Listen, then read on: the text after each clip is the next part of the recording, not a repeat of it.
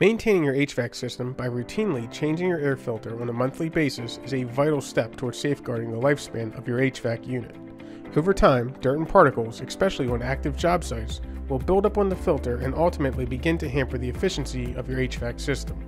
We highly recommend setting a reminder on your phone or on a calendar located on the property to remind you to switch out the filter every 30 days.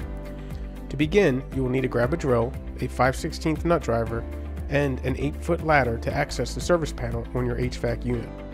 First, and most importantly, turn off your thermostat, then safely climb up the ladder and turn off the breaker switch located on the side of your HVAC unit. Please note, on certain 1 ton units, a breaker switch may not be located on the unit itself. In this case, you will want to find the disconnect mounted on the front exterior wall next to the HVAC unit, or just turn off the 30 amp double pole breaker located in the main breaker box.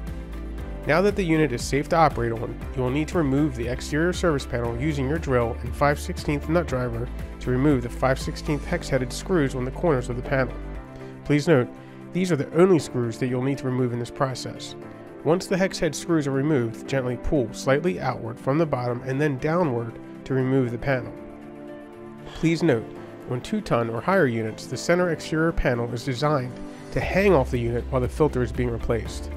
Additionally, on newer HVAC BARD units 2 tons and up, the filter is located behind the narrow panel just below the upper panel held with two 5 16 hex head screws.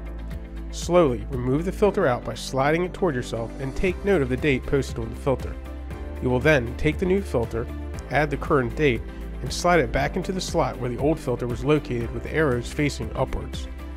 Once you have successfully switched out the filter and reattached the exterior panel, you will then turn the breaker panel and thermostat back to the on position to resume normal operations. If you have any questions regarding this process or if there is an issue with your HVAC unit, please do not hesitate to contact our service department at 1 800 966 8883 or 410 335 1200, extension 107. Please press 2 for service if you reach our automated attendant. Thank you once again for choosing Wilmot Modular Structures. We help build visions, all while keeping you cool in the process.